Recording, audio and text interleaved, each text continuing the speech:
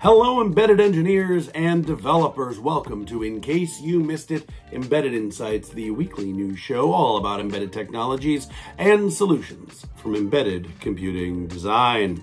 It is Friday, July 18th, 2025. I'm Ken Briodagh, editor in chief of Embedded Computing Design and your host.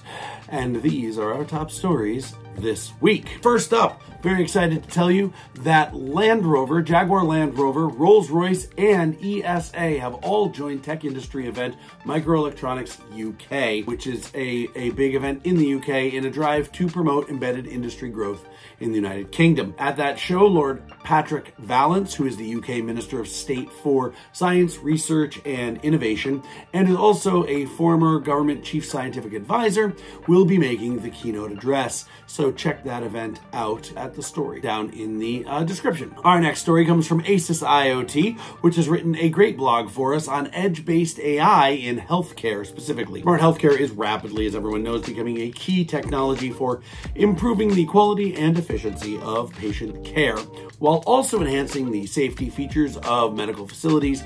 And in some cases, these edge AI systems are even saving lives. So make sure you check out that column from Asus IoT. Finally, we're featuring a behind the scenes look into smart manufacturing. Our own uh, production editor, Chad Cox, was invited to tour LG's Lighthouse factory recently, and he's written a deeply insightful column full of deep insights into the AI, automation, and ma manufacturing technology of LG's most advanced factory.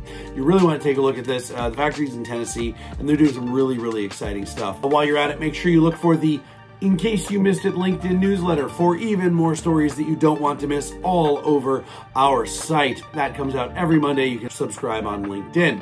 Of course, make sure you subscribe here on YouTube so that you never miss any episodes of In Case You Missed It or any of our other shows, including Dev Kit Weekly. Our LinkedIn newsletter comes out every Monday, and of course, this show comes out every Friday. Uh, visit embeddedcomputing.com for all the news in the embedded computing space and follow us on LinkedIn and all across the web. Please reach out if you'd like to become an advertiser for any of our shows. Make sure that you let us know if you have a story idea that we've missed. That's our show, and I will see you next week.